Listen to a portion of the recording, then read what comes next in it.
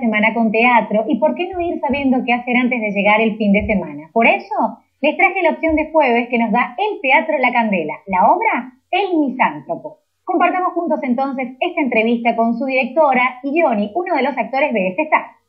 Llegó al Teatro La Candela con ocho actores en escena una nueva propuesta. Estamos haciendo una obra de, de Molière que se llama El Misántropo. Molière estaba en un periodo de depresión, le quisieron copiar una obra, le quitaron los derechos de otra, este, se sentía realmente perseguido ¿no? por una sociedad injusta. Entonces él escribe El Misántropo, en el cual el protagonista es un hombre que no banca más a la sociedad entonces es la lucha de un hombre contra el absurdo del mundo que lo rodea. ¿Por dónde va la obra? Sin duda, Molière lo que tiene es que genera risa, genera llanto, eh, genera preocupación y tensión, este, y eso son eh, la, maravilla de y, por qué se siguen haciendo clásicos. Y confiamos en que van a estar jueves 21 horas con la dirección de Elena Suasti, El Misántropo.